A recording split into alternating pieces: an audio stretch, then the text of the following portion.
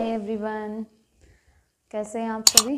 आप सभी का फिर से स्वागत है उषा क्लासेस पर। तो स्टूडेंट्स आज मैं आपके लिए लेकर आई हूँ प्रीवियस ईयर्स के क्वेश्चंस जो अभी तक मैंने पढ़ाए हैं। उसके बेस पे प्रीवियस ईयर्स में क्या क्या क्वेश्चंस आए हुए हैं।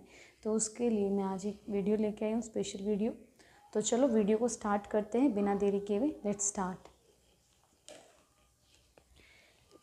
हमारे पास यहाँ पे स्टेटमेंट दिया हुआ है और कंक्लूजन दिया हुआ है।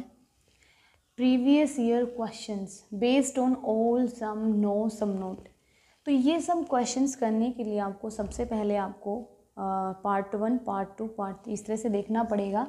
क्योंकि मैंने आपको ओल का वीडियो दिखाया है ओल और सम का। वीडियो एक मैंने बनाया है, एक मैंने वीडियो बनाया, नो और सम नोट का बनाया है, एक मैंने बेसिक वीडियो बनाया है। तो आप जब ये तीनों देख लेंगे तो आप इन क्वेश्चंस को इजीली लगा पाएँगे और आपको आसान भी लगेंगे। तो जिसने नहीं देखे हैं भाई, वो पहले वो कॉन्सेप्ट को क्लियर करें, उसके बाद इन क्वेश्चन को अटैम्प्ट करें।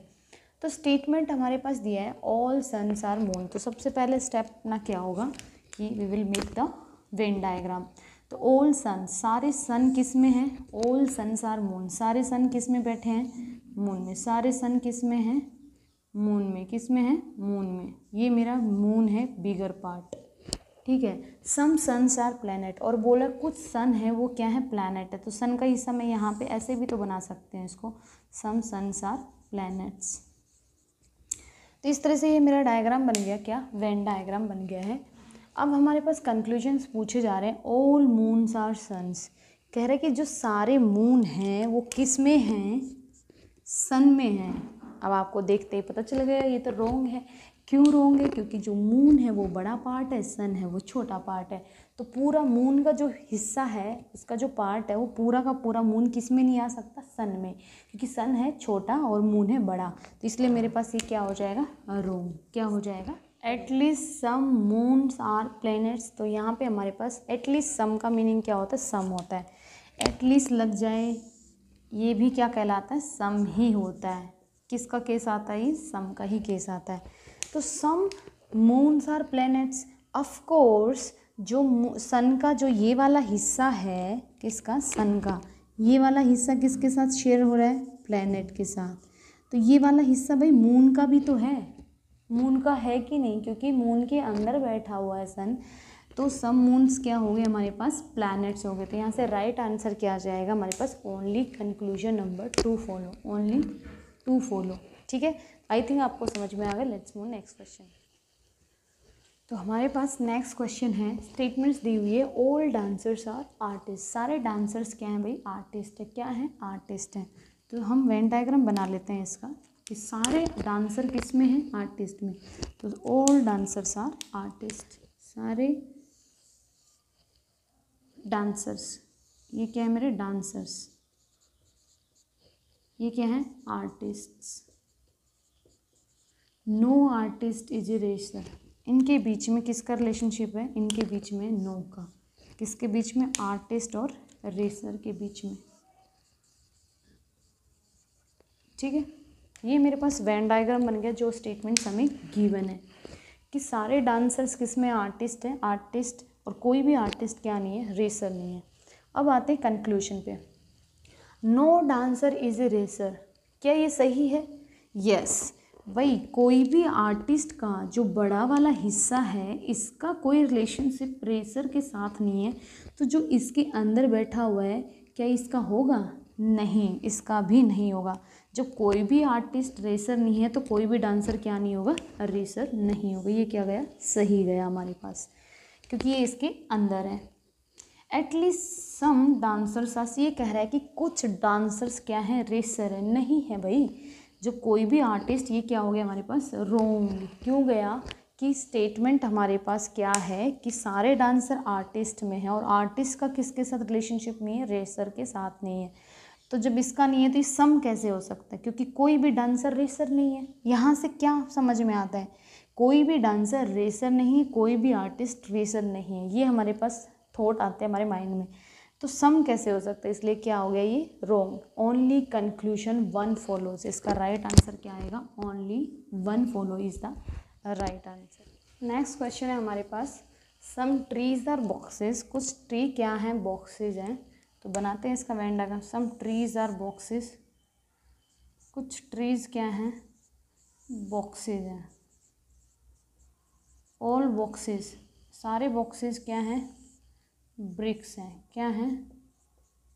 ब्रिक्स हैं। And all bricks are dogs सारी ब्रिक्स किसके अंदर बैठी हुई हैं? डॉग्स में। तो सबसे बड़ा पार्ट यहाँ से क्या है? सबसे बड़ा डॉग है। जो बॉक्स हैं वो ब्रिक्स के अंदर हैं और सारी ब्रिक्स किसके अंदर है? डॉग्स के। तो इनडायरेक्टली क्या हो गया कि सारे बॉक्सेस डॉग हैं, सारे ब्रिक्स क्या हैं? डॉग हैं। अब देखते हैं अपने confuse some dogs are trees of course ये डॉग की बाउंड्री है। ये ट्री के साथ शेयर हो रही है। तो इस सम का रिलेशनशिप है यहाँ पे। ये डॉग्स हैं। जब कुछ बॉक्सेस ट्रीज़ हैं तो डॉग्स तो ट्री होगा ही होगा। Some bricks are trees of course bricks भी किसके अंदर है? किसके अंदर है? किसके अंदर है? डॉग्स के अंदर। और बॉक्सेस किसके अंदर है? ब्रिक्स के अंदर है। तो ये हमारे पास जो बॉक्सेस ट्री हैं तो ब्रिक्स तो होगा ही होगा नहीं? ये होगा ना? तो ये भी हमारे पास क्या हो गया? सही हो गया। दोनों कंक्लूजन यहाँ से क्या जाते हैं? सही। कि यहाँ पे बाउंड्री शेयर हो रही है किसकी? ब्रिक्स की किसके साथ? ट्री के साथ भी हो रही है। डॉग की किसके साथ हो रही है? ट्री के साथ। दोनों में क्या रिलेशनशिप हो गया? सम का। तो यहाँ से हमारे पास आंसर क्या जाता है? Both conclusion number one and two follows कौन सा? E is the right answer next move next question हमारे पास सम टीवीज आर प्लास्टिक्स कुछ टीवी क्या है? प्लास्टिक्स हैं। तो टीवी ये है हमारे पास। ये टीवी है। Some TV are plastics. And some plastics are VCDs some plastics are VCDs तो ये हमारे पास दिया हुआ है स्टेटमेंट्स ठीक है, अब आते हैं कंक्लूशन पार्ट पर। हमारे पास कंक्लूशन वन दिया सम टीवी आर वीसीडीज ये टीवी का पार्ट है, ये वीसीडी का, दोनों अलग थलग हैं। हमें इनके बारे में पता ही नहीं है तो हम क्या बोल देंगे इसको? सीधा रोंग क्योंकि सम क्या है कि डेफिनेट स्टेटमेंट ये बोल रहा है, कुछ टीवी क्या है वीसीडी है, लेकिन हमें तो यहाँ से नहीं दिखाई दे रहा। All V C D are plastic सारे वी सी डी किसमें बैठ जाएँ? प्लास्टिक में। ये भी नहीं दिखाई दे रहा सम कर ले है ऑल का नहीं है तो यहाँ से आंसर क्या जाएगा? Neither nor neither conclusion one nor conclusion two follows let's move to the next question next question है हमारे पास सम बाउल्स आप देख, कितना टाइम लगेगा बनाने में? देखना सम बाउल्स आर कुछ बाउल्स हैं स्पून्स हैं, वो क्या हैं? स्पून्स हैं। All forks are some spoons are forks some spoons are क्या है? फोर्क्स हैं। And all forks are plates हैं। सारी क्या है? प्लेट्स हैं। ठीक है? अब आते ही इतना तो टाइम हमें इस वेन डायग्राम को बनाने में लगा, ठीक है? नेक्स्ट आता है सम बाउल्स आर फोर्क कुछ बाउल्स क्या हैं? फोर्क है ये बाउल की बाउंड्री है यहाँ तक, और ये फोर्क की बाउंड्री है।